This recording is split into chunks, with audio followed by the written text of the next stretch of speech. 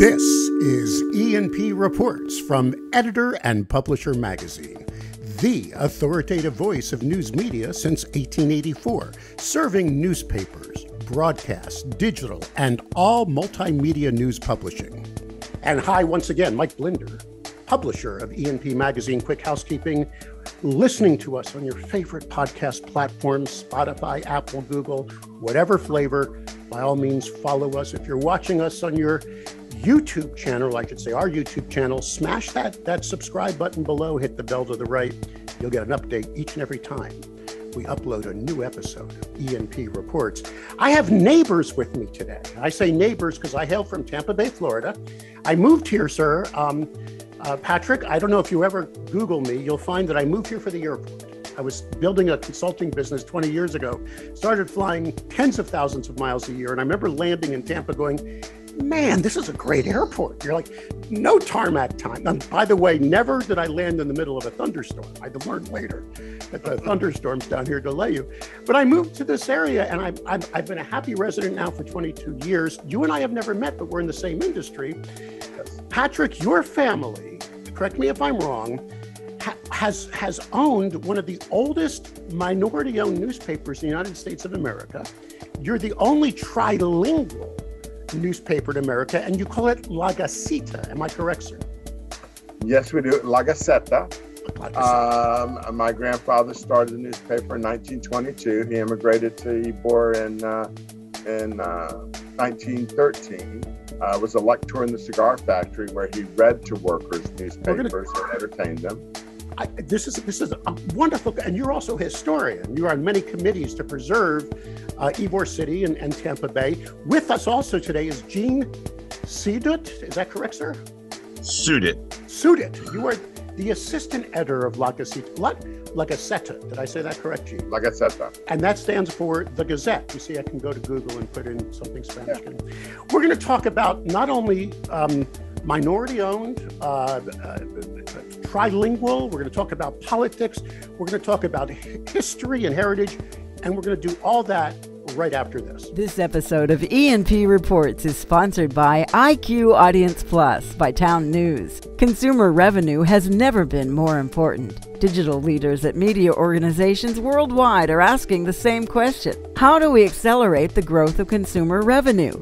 Traditional one size fits all paywalls aren't the answer. They're blunt instruments that treat all visitors the same way, costing you money. IQ Audience Plus by Town News is a smart, dynamic metering solution that empowers you to maximize revenue by identifying key audiences, seeding engagement, and growing membership and subscriptions. Ready to supercharge your consumer revenue, grow engagement, and bolster your advertising income? Visit townnews.com backslash EP today to learn more about IQ Audience Plus by Town News. Patrick, Gene, how, okay, Patrick, your family goes way back. You obviously are a, you met your wife in high school. She was your prom date. I did a little, I did a little, yeah, you know, searching. Absolutely. Still, still loves me, still works here. You know, it's great. I'm a lucky man. And your great, your grandfather started the paper in 1922. Yeah. Your father ran it until 1988, correct? When you took over. 1998, he passed away. 1998, he passed away. And Your wife is just like my grandfather did every day at the newspaper until basically they died or couldn't work. You have ink in your veins, as we like to say. Um, your wife is your business partner, not unlike me. Yes. And so your background was and is and has been not just journalism, but the community. I mean, I've, you're all, you're very active uh, politically down there. Your father and your grandfather both were. I understand your your grandfather back in the 20s was someone that all the politicians came to to learn who was going to be the next. You know, he had this almost tea leaf reading about where Tampa was heading. But uh, quickly, Gene, are you a local resident? Did you grow up here as well, sir? What is your background? Well, I've lived here since 1999, but I am originally from New Jersey. Uh, I moved here in 19. Uh, I'm sorry, moved here in 99, 26 years old uh, for the weather. Um, I did for the airport. You moved to the weather, and you have a uh, journalism in your background, sir. Did you? Did you? I, I, think you wrote once for a paper I saw years ago. Uh, well, no, I've I I, uh, I had a nationally syndicated column with Bleacher Report. That's uh, right. I was sort of on the ground floor when Bleacher Report started, which became CNN's sports wing. Uh, so I had a, a good few years doing that. Uh, but that was while I was here. Uh, when I originally started here, it was uh, more clerical and uh, sort of evolved since then. The title's always been the same, but the jobs gain more responsibilities. All right, so let's first talk about YBOR uh, or the uh, Tampa Bay uh, Hispanic Center. Can I use that term, Patrick? Would you say? Sure. All right. Or the Latin, the Latin Quarter we prefer. The Latin Quarter. Um, those that study history, and I, I'm a historian as well, sir. I, I, I studied this area. I've toured um, some of the, the, the housing there. I've I've been I, I, fascinating in the 20s. Correct me if I'm wrong. YBOR was a hop in place, and there was also a criminal activity here. Correct? We were we were bringing in liquor. Am I right or wrong? This the right there. No, in the 20s was our heyday. You uh, YBOR City, West Tampa produced a half a billion hand rolled cigars. Uh, we had 400 factories. Uh, the Latin community was a force that had to be dealt with politically, unlike most minority communities in the South. And, uh, and there was a relationship uh, between uh, uh, Anglo criminal elements and Latin criminal elements. and some of that involved around politics and delivering votes. we had Bolita, which was uh, the lottery. Uh, you know, what was once illegal is now legal and run by the state. But back then, it was the basically the same thing.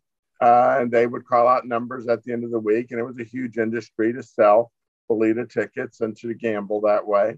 Um, of course, you know, prohibition also caused a uh, more criminal activity because you had a a, uh, a great relationship and a very uh, short distance between here and Havana and uh, so, you know, you would get rum coming across during Prohibition, uh, both, you know, certainly in Key West, but also into Miami and into Tampa. And, and all of that helped uh, stimulate uh, uh, mafia. Now, one of the ways you, you mentioned the reader, um, I found that fascinating. One of the ways these thousands of cigar rollers who were artisans, I mean, it, you just you had to actually apprentice to, to, to learn how to roll the right. perfect cigar, right? It wasn't like you walked in and said, "Hey, give me a job." So they would be working with their hands in factories, treated very well. I understand they were fed, they had housing. It was a it was a vibrant job. But to to pass the time, someone sat way up high, right, on a bench, yes.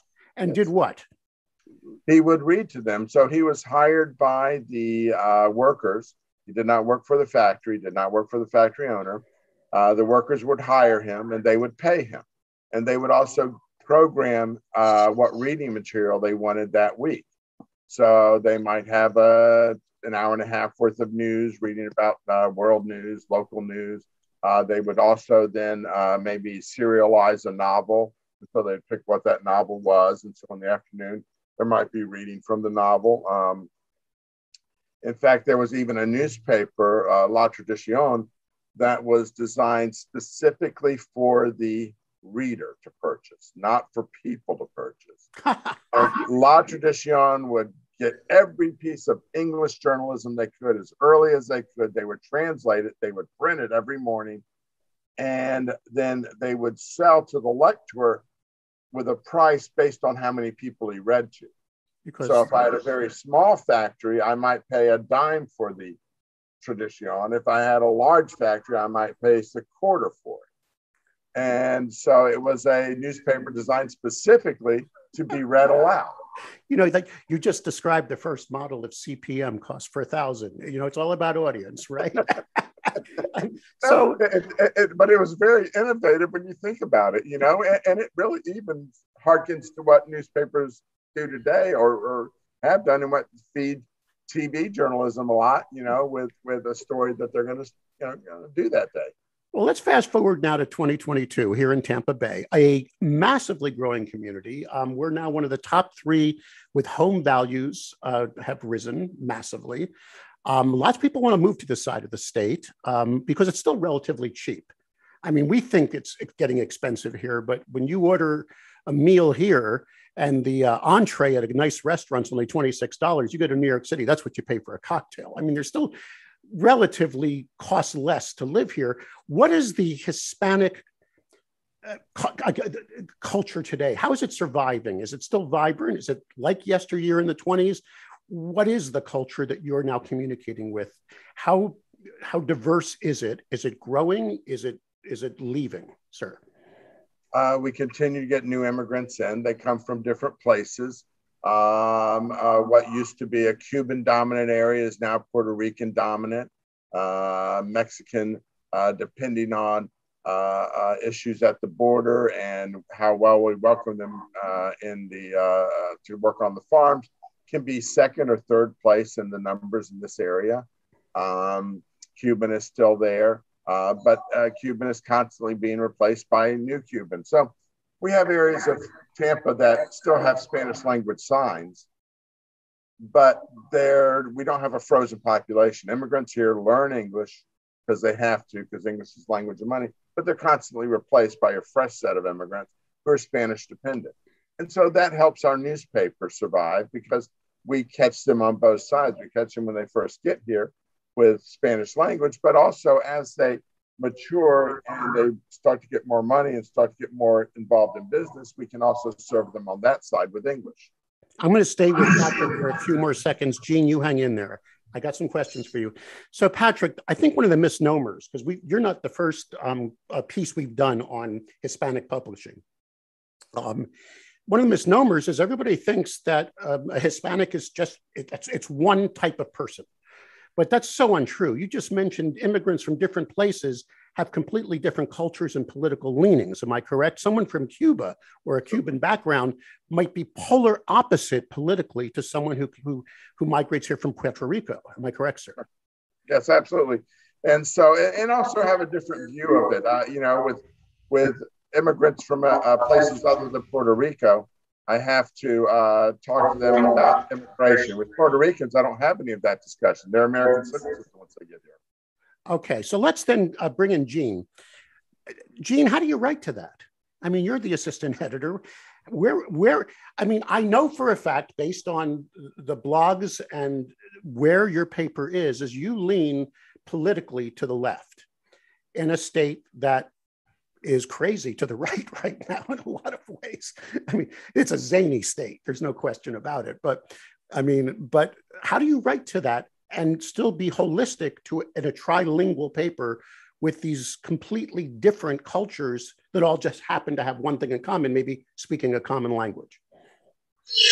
I think it has to do with honesty uh, when you are writing, you know, we lean that way because it's where our heart is. So we're not writing to a party or to our uh, whatever these ideals are as a group. It's what we find to be honest. So if there's something we see that needs exposure, or someone needs help, or there are, uh, you know, if we need to speak truth to power, that um, it just so happens that that's where our heart is. That we're not writing because we're Democrats or liberals or whatever you want to call that. It's that what we write is in line with them. So as long as we're honest and and and truthful to uh, the people who we're trying to help, I think that um, that's the, you know, the crux of it. That something that we're trying to do. I think it's a natural thing. Do you believe strongly that a Hispanic population within a city, which many many cities all over North America have now, deserves its own voice? Is there a necessity? Well, it needs its own voice. Um, and even take someone like me, for example. Uh, you know, I'm a I'm Polish Italian from New Jersey. I didn't know I was a Latin because in Tampa, Italians are Latin.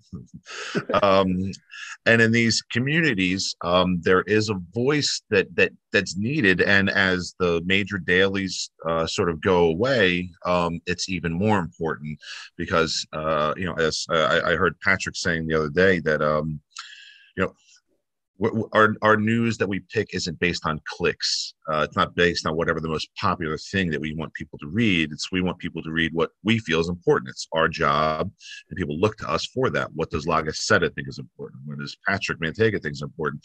Um, not to say that it is the most important things, but but it's what Patrick feels is important, and um, we want to present that, and we feel that that is a, a very important thing that that we are trying to look out for those minority communities and are exposing people to things they may not be aware of as opposed to you know stories about puppies and and whatever else uh, is going to get uh, more clicks or more shares. There's, there's a hard truth out there that also needs to be uh, shown, and, and the minority populations uh, have a, a, great need of a voice and education and knowledge about those things, as everyone else does. But This, this, this is the cross we chose. Patrick, you've got an audience here of about three to four thousand on a uh, we get on a monthly basis on this platform, who are mostly three quarters, according to our research, you. They are owner, operator, C-suite, either editorial leads, advertising leads, um, or owners like you, or or at least reporting to a boss or a hedge fund or whatever. Okay, is this a viable business, sir? I mean, how many employees have you got? How do you distribute, and how are you are you able to squeeze out a few dollars a week so you can take send your kids to college? How how are things going in this? You're laughing, Gene. I'm didn't mean. I mean, for those of you that are on the audio only, Gene just smiled and laughed. Am I asking a bad question, Patrick? Did oh, I put salt in the kids? Kids are educated. no, it's uh, it's a good question. Um, uh, business has been good uh, for the last uh, few years. Um, we have a niche where we do a lot of legal advertising, and it's a very stable uh, base of advertising. Um, this uh, advertising Hispanics is, is popular now, so we get a lot of ads without having to work really hard because uh, different industries are trying to reach out to the Hispanic community. Um, so uh, uh, things are good. Um, but you're a free paper, so you're supported by advertising, correct? Oh no, we're a paid newspaper. Oh, excuse my ignorance. I saw. So even Wawa, by the way, which is from my hometown, Pennsylvania. I'm from Philly boy there, Gene. I know you're from Jersey, but even Wawa then sells, sells your newspaper. Okay, so you're a paid newspaper. Your website seemed wide open to me, though. I, I went to. Uh, your website is because we don't give you a newspaper on the website, you have items that say this is a, we give you a paragraph and they say, if you want to read more, go buy a newspaper. Okay. Uh, we're, we're probably the oldest fashioned newspaper you're going to be around. We do not give it for free. Um, uh, everybody pays for it. Um, and, um, and we're happy with our niche. I think that that's probably very unusual. I think a lot of people aren't happy with their niche and they're fighting to you know, be everything to everybody. And we don't want to be everything to everybody. I'm okay being what I am. Okay. So, circulation then, sir, how many puppies do you print a week, if I may ask? Well, we, uh, we uh, distribute out to uh, 10 counties.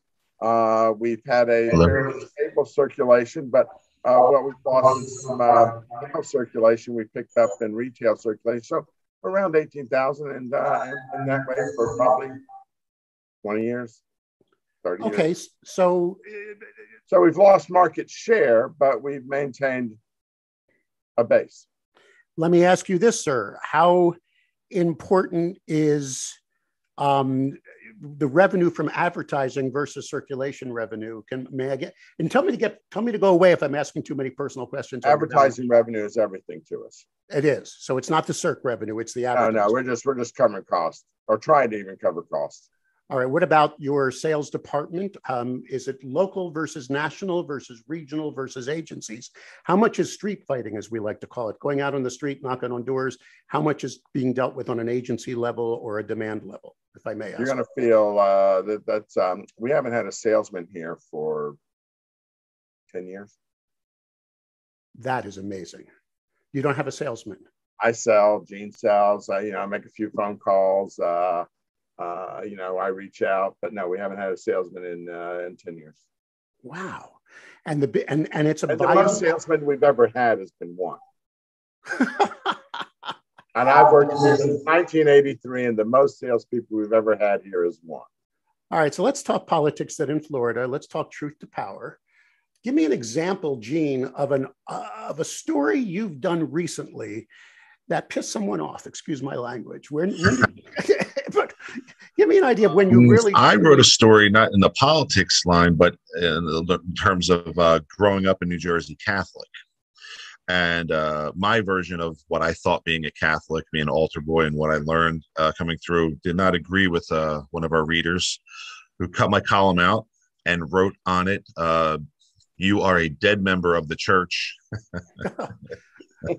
uh, in red ink, and I wasn't sure if it meant that uh, that she didn't think I was Catholic or if I was going to be meeting her soon. So, um, yeah, what, you know. What, what about the politics of the area? I mean, there's a very small liberal core here in Tampa Bay. I think Pinellas County actually won a little blue in the last election, but even that one comes in red. Pasco's red. Um, for those who don't understand, there's a corridor we're, we're here between Orlando and Tampa. They, we now call it affectionately Orlampa sometimes, where there is some liberal, but we're surrounded by a very, very um, far right environment here in Florida. Are you, and I'm not picking sides here, I'm simply saying, are most of your readers liberal, would you say? Do you, do you re- represent their views or is, do you sometimes get? Oh, I have a lot of I have a lot of hardcore Republicans who uh, read us. We have a lot of uh, hardcore Democrats that read us. Um, uh, I, I, think what uh, the both sides appreciate is is that they know where we lean. You know, it's not a hidden thing. We're not claiming to be uh, completely unbiased. We're saying we got a little bias, and here it is, and this is what we think, and and this is from our point of view. And so I think people feel that way. I think the Republican Party people like us because sometimes we're this we're, we're talking about the items that they don't like about their party. I think the Democratic Party people sometimes like us because I'm talking about what I don't like about my party, which is Democrat, and they want to also correct our party. So a lot of times we offer criticism on both sides, um, but uh, it's done kind of transparently. And, and I think that, you know, so many people claim fair and balanced as opposed to being fair but imbalanced, we would like to say. Um, you know, and, and so we're a little imbalanced, but we're going to be fair about it. Do you agree, Gene? Certainly. Um, you know, there's going to be a lean, uh, but editorial, uh, and a lot of people confuse this editorial, which, uh, you know, our paper is more opinion and commentary than hard news. If we break a story, it's because we've been learning about it and what we come out once a week. So story comes out on Tuesday, it's a little more difficult for us. You know, social media helps that a little bit, but um, we uh, you know people want to see what we think about matters, and and we've thought about them hard and and, and weighed different uh, you know sides of, of problems. So um, it's it's balanced in that we've balanced it, uh, but you know I would say we're always fair. Um, people might not like what we say, but we're certainly fair. Patrick, your family has had this for 93 years now. Um, 100. 100. Excuse me. I, I, I, apologize. 100 years. Okay. Do you have offspring with ink in their veins? Will this, do you think this will be passed on to the family and, or, or you? I had uh, my oldest daughter worked here. I encouraged her to go find another occupation. Uh, um, my middle daughter worked here. I encouraged her to go find another occupation my son has helped out here, but he's never worked here. Um, um, you know, I've still got some years left in me, and who knows where our industry is going to be and what it's going to look like. And so I have grandchildren, and so maybe I can last till the grandchildren can make a decision, uh, or maybe one of the kids might want to come back, you know. Uh, but um, uh, no, I don't have a, a plan of, of succession uh, I play it by ear. Gene, I have to ask this question just because it begs to be asked. If you resent it, I'll edit it out.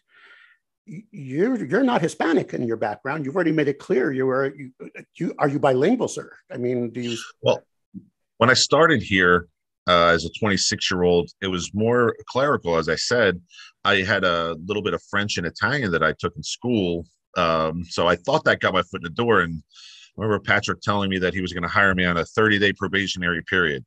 Now, he's never told me I've been off that probationary period. um, so, but it, it has been, you know, in my family, um, we're actually, uh, on my grandmother's side, were newspaper publishers in Belgium. They were the publishers of the largest newspaper there. And uh, she uh, worked for the UN for a long time. And in my family, there was a lot of different languages spoken. Uh, I didn't pick a whole lot of that up, but uh, starting working here and, and, through the 23 years I've been here, uh, I, have sort of adopted it as my culture too. It's hard not to. Um, it's a, it's a, they're lovely people, and it's a. I, I couldn't imagine doing anything else. Okay, um, Patrick, you are a based on what I've read and when I googled you, you come up in a numerous places, especially in local news, you're pretty much uh, embedded here in Tampa Bay.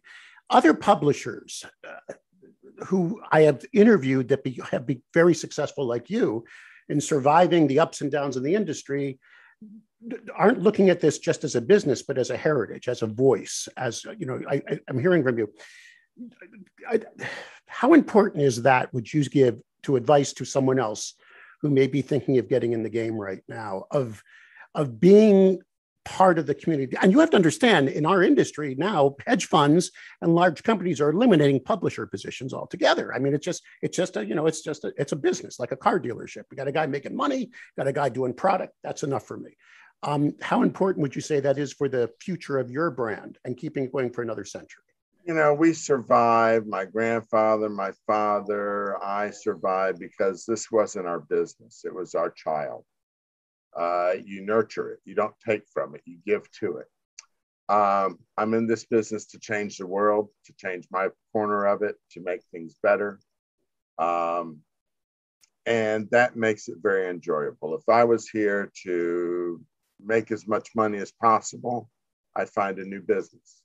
Uh, but I'm in a unique business that does allow you to every day learn every day I get to learn something new. That's amazing in most businesses, you know, where you have to do the same thing over and over again. Every day I'm able to help people. Every day I'm able to hurt people if uh, they're doing the wrong things. Um, uh, you know, I can see things in my town that exist because of us. I can see things that don't exist because of us.